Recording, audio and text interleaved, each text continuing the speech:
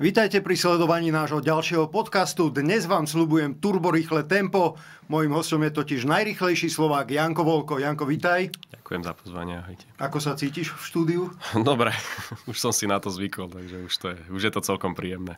Janko, dobehol si priamo z tréningu, takže si v plnom nasadení. Aký si mal čas z mesta na koligu? O, za nejakých 11 minút, ale boli tam zápchy, takže bohužiaľ som musel spomaliť. Začal si už halovú sezónu. Prvé preteky máš za sebou, absolvoval si ich v Ostrave, ale nie na svojej najobľúbenejšej 60 ale vyskúšal si si trojstovku. Disciplína, bavili sme sa o tom predtým, veľmi náročná, zvlášť pre šprintera tvojho rangu, že máš radšej tie kratšie vzdialenosti.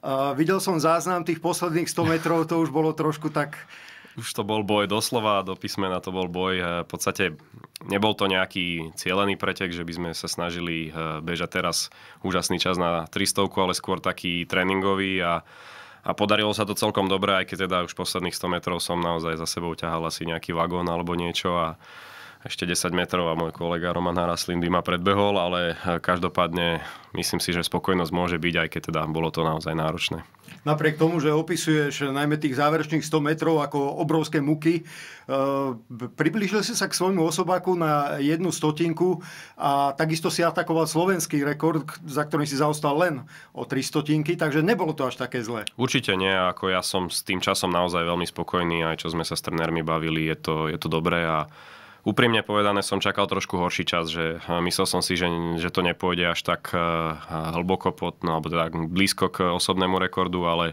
podarilo sa a som len rád za to. Veľmi dôležitá pred eh, každým takýmto vystúpením je rozcvička. V Ostrave tá disciplína meškala 40 minút. Ako sa to podpíše na koncentrácii, na zahriatí organizmu? A tak v podstate na tieto veci som pripravený a tým, že, sa tam dá, že je tam teplo, že sa tam dá udržiavať aj nejaké rovinky si odbehnúť mimo toho, mimo tej 300 ešte kým sú ostatné disciplíny a končia, tak, e, tak sa to celkom dá zvládnuť. Samozrejme nie je to úplne ideálne, ale e, ja som v hlave nastavený tak, že aj keby to meškalo dve hodiny, tak teoreticky to nejako zvládnem, ale to už samozrejme by bol dosť veľký časový e, rozostup medzi tým, ako som sa prvýkrát rozcvičil a teda mali zbežať, čiže Nebolo by to ideálne, ale v tomto prípade to nebola až taká katastrofa. V podstate je len dobre, že tam bolo toľko, toľko športujúcej mládeže, ale teda už aj, aj dospelých ľudí. K mládeži sa určite dostaneme. Mňa by ešte zaujímalo, e, vrcholový športovec, e, športovec, ktorý získava medaily na kontinentálnych šampionátoch, ako dlho trvá rozcvička v takomto prípade? Bavíme sa fakt, už o tom top leveli.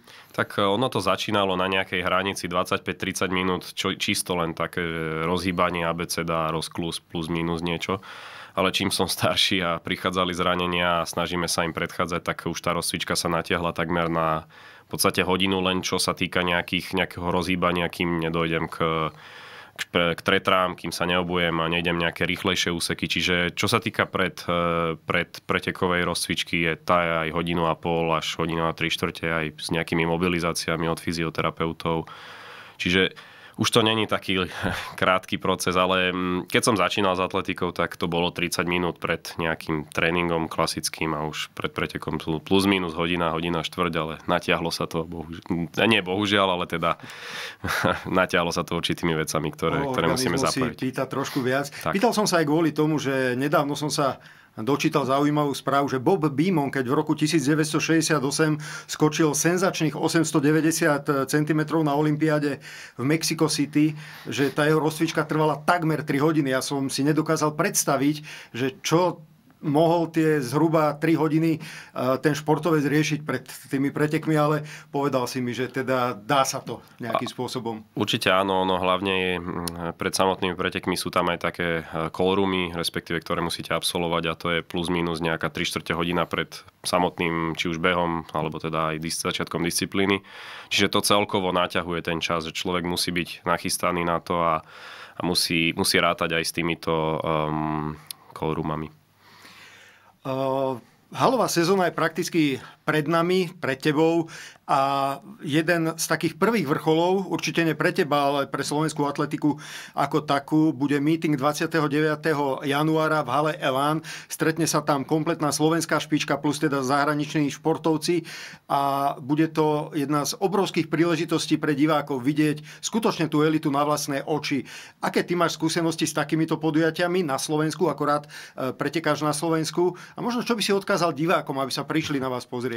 Tak e, ja som rád, že je tu taká možnosť, pretože tých, tých možností naozaj nie je veľa v halovej sezóne. V podstate sú len plus minus dve. Jedna je práve LAN meeting a jedna je e, možnosť prísť na majstrovstva Európy, či majstrovstva Slovenska halové. A inak to nie je až také jednoduché, keďže väčšinu pretekov absolvujem v zahraničí, či už v Ostrave, alebo potom teda aj v vzdialenejších destináciách. Ja mám rád samozrejme LAN meeting, pretože práve prídu diváci. Je to, je to pre nich, je to pre ľudí, ktorí nás podporujú a ktorí nás inak nemajú možnosť vidieť iba v televízii, respektíve cez prostredníctvo médií. A mm, bol by som rád, keby prišlo čo najviac ľudí. Verím, že, že tam bude či už plno mladých ľudí, ktorí, ktorí aj možno budú pretekať, respektíve ich rodiny, príslušníci, ale teda samozrejme aj, aj naši fanúšikovia. Slubujem, že po odbehaní obidvoch úsekov, respektíve verím, že budú obidva, ehm, tak ehm, je, bude tam nejaká malá autogramiada, takže možno aj to je motivácia pre niekoho, kto, by niečo takéto chcel získať odo mňa. A aká je naopak tvoja motivácia, keď cítiš e, plné tribúny? Čo ti to ako športovcovi dáva? Na štarte musíš byť 1000% koncentrovaný, tam väčšinou je počuť aj muchu, keď preletí okolo, tam je skutočne hlboké ticho. Ako náhle zaznie ten štartový výstrel, tak uh, nielen tvoje telo sa dostane do 100% činnosti, ale aj tie tribúny začnú hučať doslova. Tak e, pre mňa osobne je to, je to naozaj úžasný pocit, aj keď teda spočas samotného behu to už ne, nevnímam a Naposledy som zažil takto plné tribúny na majstrovstve Európy e, minulý rok v Mnichove na finále stovky a bol to úžasný pocit. To, keď vidíte ten, ten plný štadión a tí ľudia vás doslova ženú, aj keď možno ne, nefandia priam, priamo vám a práve vám, ale, ale tá atmosféra, ktorá tam je, tak e, mňa to vie len, len pozbudiť a nakopnúť ešte možno k lepšiemu výsledku a výkonu. Spomenul si Berlín, spomenul si fantastické finále, dostaneme sa k nemu, ale ako nále si to vyslovil, tak aj po mne také, také zimomriavky prebehli, ty keď to možno vidíš zo záznamu o to skôr. Vráťme sa ešte ale späť do haly. E, vrchol ťa čaká v Istambule, kde sú majstrovstvá Európy. E, na tento šampionát si sa chystal aj v Juhoafrickej republike a v Maďarsku. Tak nám povedz v skratke, ako tá príbe, e, príprava prebiehala v Afrike a následne potom v Maďarsku. Tak myslím si, že sme e, na obidvoch sústredeniach splnili ciele a splnili očakávania, ktoré sme od nich mali. Či už v Afrike sa podarilo odrobiť naozaj tá základná robota, ten, tá tvrdá robota, ktorú, ktorá sa, verím, prejaví a ktorá je aj dôležitá smerom k letnej sezóne a mali sme tam skvelé podmienky. Naozaj v Juhoafrickej republike bolo celý čas e, krásne, aj keď, teda, keď tam prídu búrky, tak, tak to naozaj riadne prší. Ale tým, že tam je aj kvázi vnútorný priestor, v ktorom sa dá fungovať, tak to absolútne nebol problém. No a čo sa týka sústredenia Maďarsku, tak to tiež splnilo očakávania. Našli sme nové miesto, ktoré, na ktorom je naozaj všetko e, na jednom mieste, kde doslova 4 alebo 5 dní sme nevyšli von z, z budovy, respektíve z areálu a a, a mne toto vyhovuje, že, že nemusíme nikam cestovať, že sme priamo ubytovaní v tom mieste a mm, celkovo tá, tá, tú prípravu naozaj hodnotím veľmi pozitívne. Rok 2017 bol v tvojej kariére prelomový. V Belehrade na halových majstrovstvách Európy si získal svoju prvú veľkú placku. Bol to bronz v behu na 60 metrov. A následne si o dva roky neskôr v Glasgow získal dokonca zlato. To je ďalší z tých zaujímavý ďalšie z tých podujatí, na ktoré keď si spomeniem, tak mám zimomriavky. No a aby si nevyšiel z cviku, tak eh, naposledy aj v Toruni si bral medailu, tá bola bronzová, čiže máš kompletnú sadu eh, z posledných troch šampionátov tri medaily v relatívne vyrovnaných časoch a blíži sa Istanbul 2023. Tak čo k tomu povedať? No, mm, nejaké osobné ciele a sny sú, ale eh, nechcel by som úplne zachádzať do, do takých tých mojich fantázií, na ktorých možno pracujem, ale určite budem rád, keď sa podarí dobrý výsledok, keď sa podarí dostať najprv z rozbehu do semifinále a následne ak, tak do finále a potom už je všetko otvorené. Každopádne nechcem sa nejak zväzovať tým, že by som mal získať medailu alebo, alebo niečo podobné, pretože to nikdy nie je úplne ideálne a ja idem podať maximálny výkon v tom danom momente, urobím preto naozaj všetko, čo sa bude dať a, a či to bude stačiť na nejaké dobré umiestnenie a, a na našu spokojnosť, tak to už je len otázka priamo toho daného momentu. Janko, my sme sa už tento rok rozprávali a položil som ti otázku, že či si pripravený a či v podstate uh, cítiš tú výkonnosť na to, že by si mohol prekonať svoj halový rekord na 60 ten je aktuálne 6,55. Tak ako to cítiš, ako to vidíš? Tá, ešte, ešte to je ťažko povedať, pretože som neabsolvoval nejaký konkrétny, alebo teda mm, vyslovene meraný uh, pretek alebo niečo, v čom by som, na základe čoho by som si to vedel porovnať. Mám nejaké tréningové údaje, nejaké tréningové časy, ale to ešte stále nie je úplne nejaký smerodajný ukazovateľ. Každopádne verím, že pokiaľ zostanem zdravý a pokiaľ bude všetko tak, e, ako, ako si želáme, tak e, by sa mohlo podariť priblížiť sa k tomu, k tomu rekordu, respektíve dosahovať kvalitné výsledky a časy, ale či, či na to mám prekonať ho alebo nie, to, to ukáže len čas a naozaj hm, budem sa snažiť o, o to podať maximálny výkon a keď to na to vydá, tak bude len dobré a budeme všetci radi a spokojní čo vieš o istambulskej hale, prípadne máš už prehľad o tom, kto bude tvojim konkurentom? Tak e, o istambulskej hale toho veľa neviem, keďže som tam zatiaľ nemal možnosť štartovať. E, tento meeting sme zatiaľ nezaradili ešte do, do toho programu halovej sezóny. Ale verím, že bude, e, budú majstrovstvá Európy kvalitne zorganizované, že tá hala je skvelá, že, že všetky podmienky, ktoré tam majú byť také, aké majú byť na majstrovstvách Európy, budú. No a čo sa týka súperov, tak viem nejaké informácie z rankingu a z rebríčka, že, že kto sa ako pohybuje a plus minus si viem zrátať, že kto by tam mal byť, ale ťažko povedať ešte len začiatok sezóny a ešte všetko je otvorené a, a môžu pribudnúť nové mená, môžu ubudnúť tie staré, takže z tohto pohľadu zatiaľ, zatiaľ neviem úplne presne povedať, že kto konkrétne. Presuňme sa z haly pod holé nebo. Aké sú také tie hlavné rozdiely, kde sa cítiš lepšie? Tak Hlavný rozdiel medzi halou a vonkajškom je evidentne tá hala samotná, tento, to vnútorné prostredie, ktoré nie je ovplyvnené nejakými poveternostnými podmienkami, či už proti vetrom, alebo dážďom, zimou, alebo niečím podobným. Každopádne v hale som napríklad bežal rýchlejšie vždy 60 ako vonku, aj keď teda tamto nikdy nebol nejaký veľký cieľ. Ale zase na druhej strane vonku sa oveľa lepšie behajú nejaké e, úseky, čo sa týka dlhšie ako, ako 60 metrov, pretože v podstate halová zakruta, halové dve zakruty sú na mňa celkom ostré a nie som úplne ten typ, ktorý by sa v nich vyžíval a vedel v nich dobre behať. A preto mám rád tú vonkajšiu sezónu práve, že, že sa tam tá dvojstovka aj teda aj ostatné úseky behajú o mnoho lepšie a myslím si, že, že e, aj, na tú, aj na túto letnú sezónu sa budem tešiť. V Lani bolo celé Slovensko v pozore počas finále stovky na majstrovstvách Európy v Berlíne. Veľmi sme ti dopriali tú medailu. Nakoniec, ak sa nemýlim, o tri stotinky ti ušla. Bolo z toho napriek tomu nádherné štvrté miesto. Zálov ešte v pamäti a vyťahni nielen priamo eh, z toho úseku 100-metrového nejaké spomienky, ale čo sa dialo okolo toho, nejaké sprievodné javy? Hm, tak uh celé to v podstate začalo tak e, trošku hmm, skepticky, keďže som sa zranil plus minus nejakých 6 týždňov pred majstrovstvami Európy a mm, práve kvôli tomu mi aj ušla šanca sa možno kvalifikovať na majstrovstva sveta e, do Eugene, do Oregonu. Každopádne um, boli sme síce trošku takí, takí skeptickí a aj trochu smutní zo začiatku, ale narazili sme na nových ľudí, ktorí nám pomohli, ktorí nás motivovali smerom dopredu a pomohli aj samozrejme so zranením.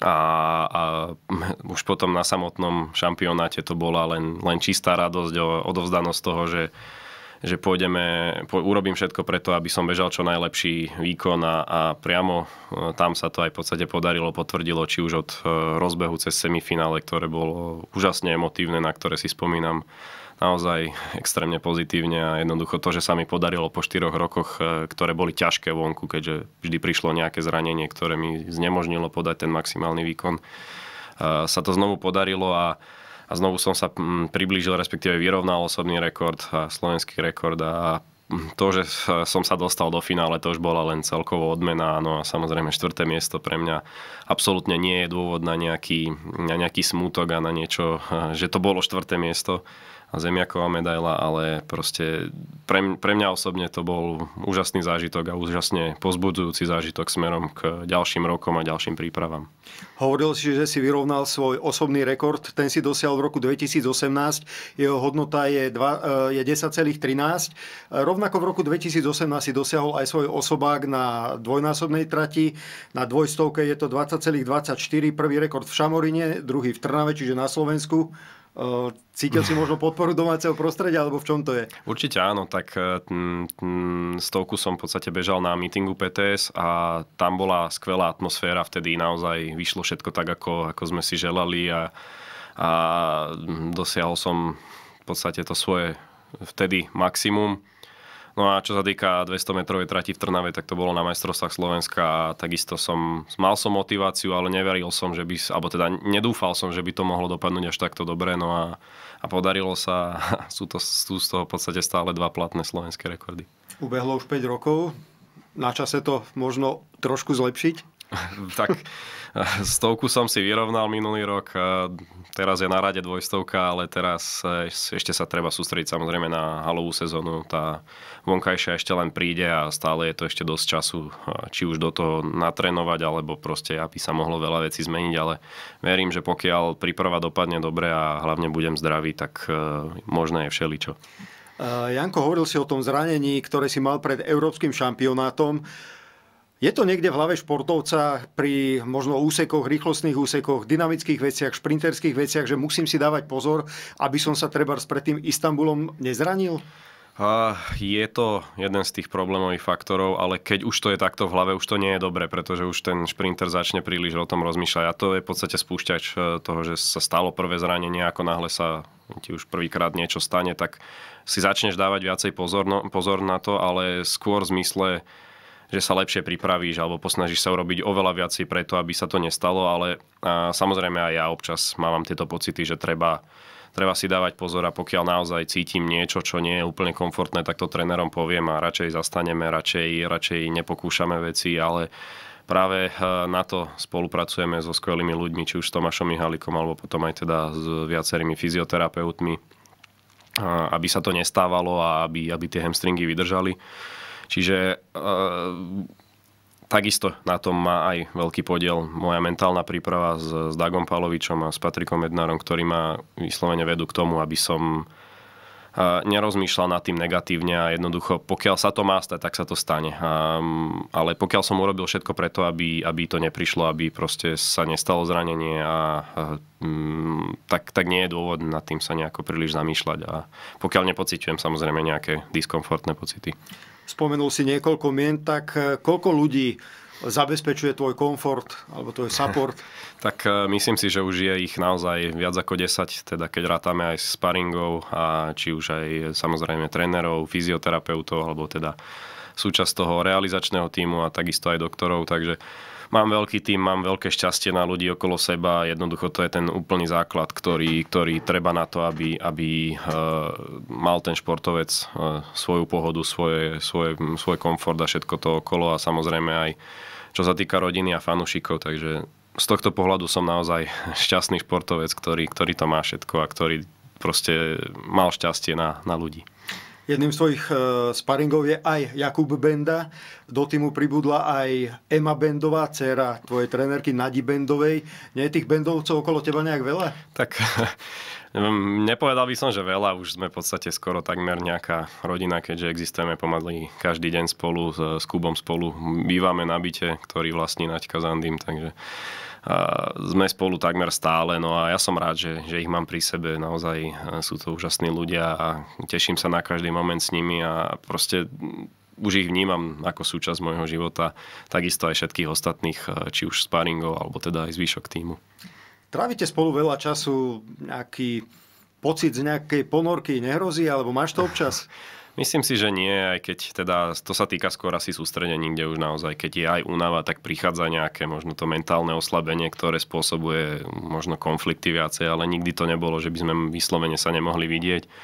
Takisto s, s Kubom je to úplne v pohode, pretože on je veľmi taký pokojný, kľud, kľudný človek, ktorý, ktorý nejde do konfliktov a s ktorým sa proste jednoducho nedá hádať a nedá byť v nejakom zlom stave a, a zlom, zlom vzťahu.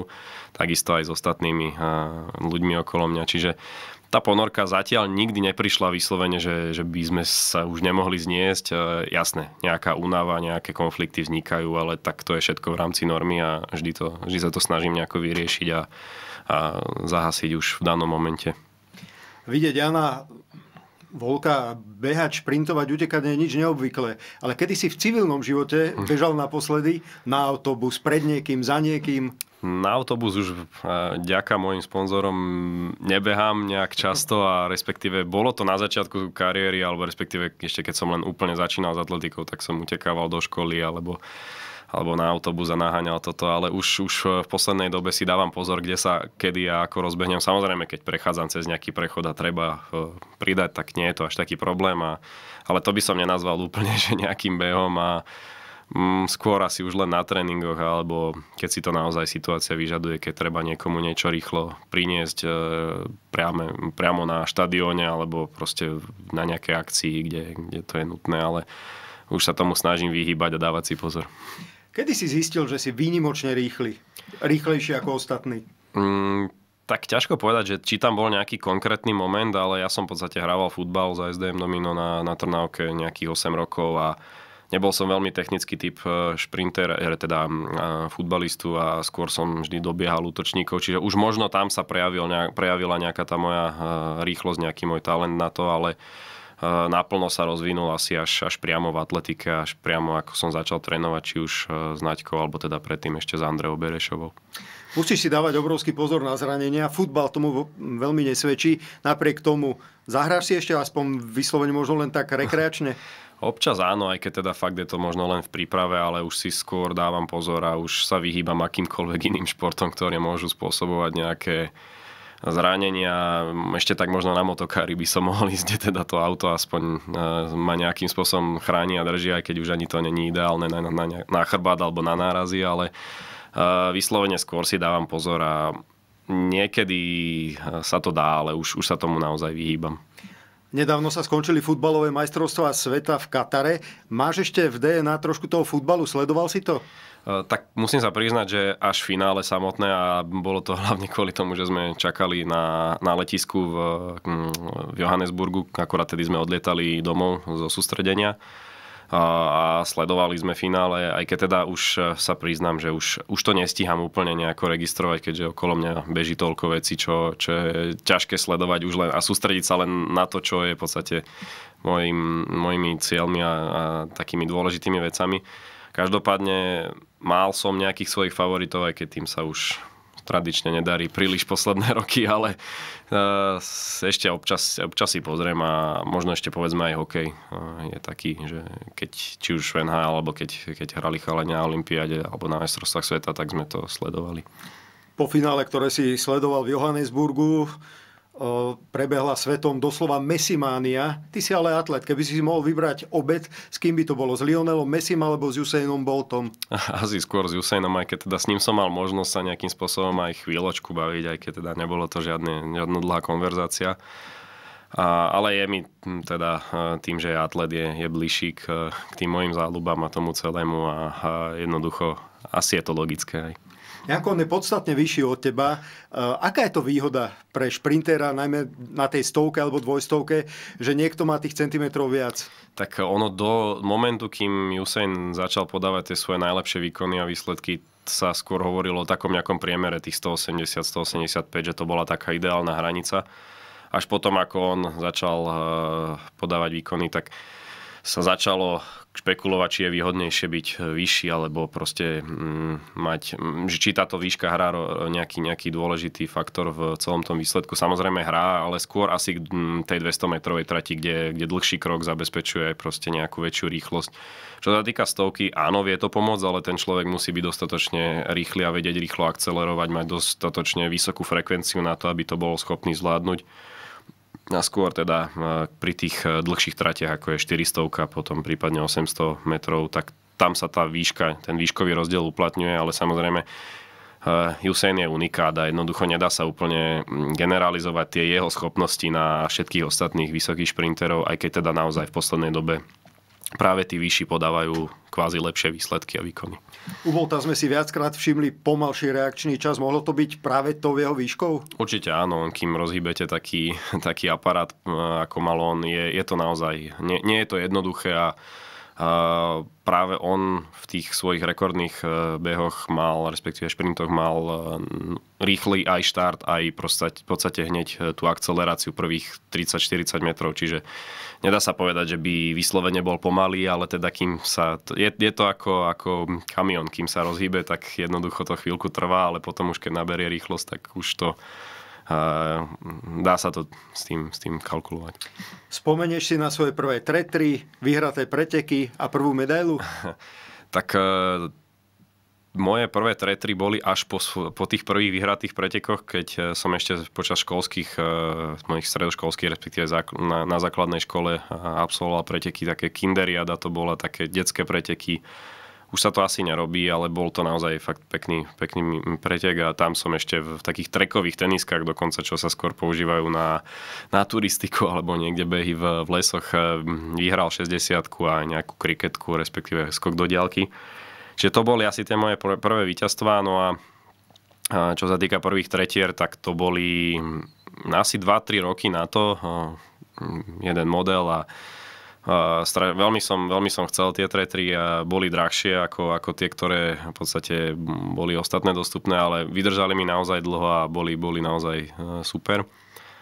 No a čo sa týka nejakých tých už profesionálnejších výsledkov, respektíve prvých, prvých výťastiev povedzme na majstrovstvách Slovenska, tak to som sa mi podarilo v doraste a respektíve v junioroch, takže to už, to už boli také celkom, celkom poviem, že nedávne, nedávne výsledky. Spomínal si skok do diaľky, kriketku. Ak by si si mal mimo behov vybrať e, niektorý zo športov 10 boja, ktorý by to bol? No, to je otázka, keďže ja som není tým, že nie som veľmi, e, povedzme, pohybovo zdatný na, alebo, alebo nadaný na nejaké také technickejšie veci, tak e, ešte si viem celkom predstaviť skakať do diaľky, pretože v podstate tam sa dá dosť dobre aplikovať tá rýchlosť a aj odraz. Ale i ostatné disciplíny už by som si veľmi netrúfal povedzme beh cez prekažky, to ani náhodou, lebo tie prekažky sú tak vysoké, že by som sa skôr podkyňal a nejaké vrhy alebo hodoštepom alebo skok go žrdi, mm, prípadne skok do výšky. To, to sú veľmi ťažké disciplíny, veľmi ťažko sa to naučí niekto, kto už do, do to nerobí od malička, respektíve od veku, ktorý je senzitívny v tom, v tom danom, tej danej disciplíne. Vláňašok bol pre teba výnimočný nielen tým, že si pod holým nebom na európskom šampionáte doslova siahal po medaile, ale prvýkrát sa ti stalo, že si sa dostal medzi troch najlepších športovcov e, na Slovensku. Zvíťazila Peťa Vlhová, druhý bol e, Juraj Slavkovský, ty si finišoval tretí. V akom kontakte si treba s týmito dvoma, prípadne s inými športovcami, tou špičkou slovenskou? Tak musím sa priznať, že zrovna s, s Ďurom a s Peťou som sa nikdy v živote nestretol hm. osobne, pretože oni majú svoj, sú rozlietaní a teda Juraj je ešte hodne mladší ako ja, čiže dovtedy som ani nemal možnosť, kým, kým nebol taká hviezda, aká je. No a s Peťou je to ešte povedzme ťažšie, pretože tá je v podstate odcestovaná primárne v tom čase, kedy ja podávam nejaké výkony v hale a v lete už teda samozrejme až tak netrenuje, respektíve vtedy je to prípravné obdobie, čiže s nimi sa nemám veľmi možno stretnúť. S ostatnými, čo boli v prvej desiatke, tak povedzme ešte od nás z športového centra policie, zo strediska s Zuzkou Štefečekovou alebo povedzme s chalanmi štvorkajakom a hm, ešte niekedy na niektorých akciách e, s hokejistami, aj keď skôr už s tými e, vyslúžilými, ktorí, ktorí sa zaslúžili o naozaj veľké úspechy Slovenska, či už na majstrovstvách e, sveta v 2002 alebo teda aj neskôr. Čiže uh, nie je tam veľa možností, pretože uh, ešte, dobre, ešte povedzme samozrejme s Matejom, to, to, to, sa, to sa dá, lebo v rámci atletiky sa relatívne často stretneme, ale, ale um, tým, že každý má nejaký ten svoj program a veľmi často sa nemáme šancu stretnúť priamo počas toho roka, len teda na športovcovi roka, tak, tak je to asi jediná z tých možností. Počas roka tráviš veľmi veľa času aj mimo Slovenska, máš e, veľa tréningových povinností, preteky, príprava, regenerácia. Toho voľného času nie je veľa, ale vieme o tebe, že máš blízko k technológiám, moderným technológiám, počítačom. Ako si sa k tomu dostal a v čom sa v rámci tejto oblasti cítiš najlepšie? Tak eh, dostal som sa k tomu asi cez môjho krstného otca, ktorý, ktorý bol, respektíve ešte stále je um, IT manažerom v pre jednu automobilku a, on mal takú miestnosť, kde pracoval, proste mal tam kopec rozložených technických vecí, či už notebookov, telefónov, čoho všetkého možného serverov a mňa to tak vtedy fascinovalo a, a vždy som k tomu mal nejakým spôsobom blízko a, a teda potom tá voľba bola jasná, keď som e, skončil strednú školu a ísť teda na vysok, bola, bol, bola otázka kam ísť na vysokú, tak som zamieril po týchto technických smeroch. A nemôžem povedať, že som úplne nejaký programátor alebo niečo podobné, lebo to, to som úplne nezvládal na prvej fakulte, na ktorej som študoval ale už teraz na fakulte elektrotechniky skôr také tie praktické veci, skôr niečo hmatateľné, ten hardware, to, to všetko okolo, ne, prípadne nejaké sieťové technológie, čiže toto je skôr taká moja oblasť ako, ako nejaké programovanie, aj keď teda niečo som sa samozrejme naučil aj, aj z tejto oblasti. Počuli sme o tebe, že niekedy je možné ťa vidieť aj niekde v dielni, zohybať sa nad e, motormi aut, trúfneš si vymeniť olej alebo prípadne nejaké náročnejšie opravy? Tak e, olej ešte není až taký problém. Už priamo v motore sa vrtať, na to treba trošku vedomosti, aj keď už dnes je na internete toľko návodov a dá sa všetko možné naštudovať. Nevrajím, že to spraví z vás odborníka ani náhodou. To je jednoducho, na to treba roky praxe ale uh, aspoň teda s kamarátom, čo sme už sme menili, všelijaké závesenie, uh, nápravy, výfuky, proste kopec vecí, dokonca sme lakovali uh, karosériu, čiže niečo sme sa už za tie roky naučili a také tie bežné, bežné prevádzkové veci si vieme urobiť sami úplne bez problémov. Z toho, čo sme si povedali, tak dedukujem, že máš blízko aj k Formuli 1. Kto je teda tvoj favorit, komu fandíš? Mám blízko, aj keď teda bolo obdobie, kedy som absolútne nesledoval formulu. Ja som začínal ešte, ešte keď som bol maličký, tak s otcom sme pozerali ešte, keď bola doba Schumachera a proste tie, tie, tie, v tých rokoch som to sledoval každé ráno, v nedelu, v sobotu. No a teraz som sa k tomu vrátil možno po 5-6 rokoch, čo som to absolútne nesledoval tak mám svojich fanúšikov, mám teda fanúšikov, favoritov. Fandí, aj fanúšikov. No, aj tých, aj tých nejakých.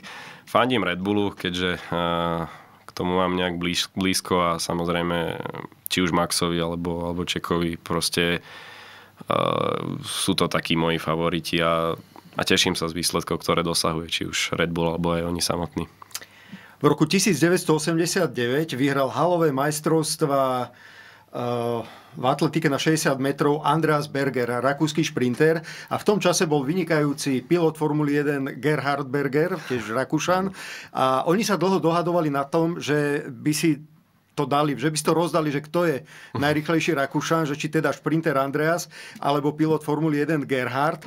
Dal by si sa nahovoriť na niečo podobné? Tak záleží. Keď by sme si mali vymeniť tie role, tak asi by každý z nás bol v nejakom v tom svojom komforte, alebo teda nebol by, nebolo by to úplne ideálne možno pre, pre každého z nás, ale tak samozrejme v súčasnosti oproti formuli by som nemal absolútne šancu a, a jednoducho aj na obyčajných 60 metroch by bola ďaleko predo mnou, pretože tie technológie už sú tak ďaleko, že a trúfam si povedať, že aj v tom čase, keď ešte títo dvaja medzi sebou nejakým spôsobom sa doťahovali, už, už vtedy by bola tá formula ďaleko rýchlejšia ako ja. Možno, možno 2 metre by som zvládol, alebo 3, ale potom by to už proste nešlo. Ale mm, napriek tomu, že mám rád rýchlosť, že som, že teda v podstate sa tým živím, si netrúfam napríklad, netrúfal by som si sadnúť do Formule 1, pretože to je, to je extrémne náročné, už len keď to hráte niekde na PlayStation alebo na niečom podobnom, tak uh, tam, tam to príde jednoduché relatívne, ale aj